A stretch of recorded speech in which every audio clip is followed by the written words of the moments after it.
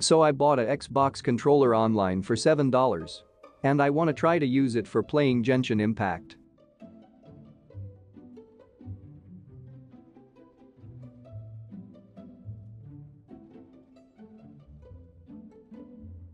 Honestly this is the first time I tried playing this game with a controller.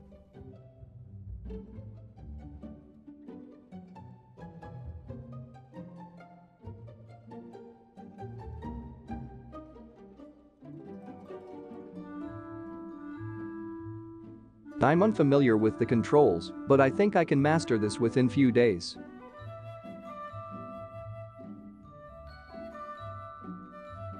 So I heard that aiming a bow using controller is hard.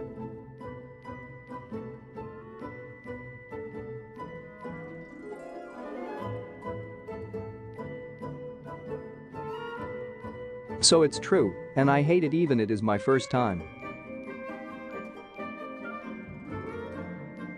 Now, let's try the AARR technique.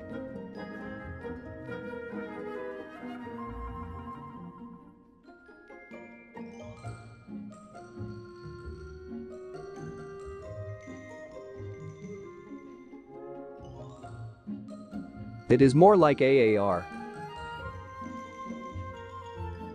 So I came to the conclusion that using controller is harder than mobile and PC. I want to wish.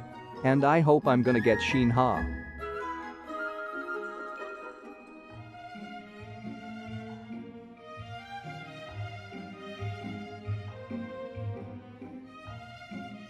Forget it. I got Arataki Itto's 3-star weapon.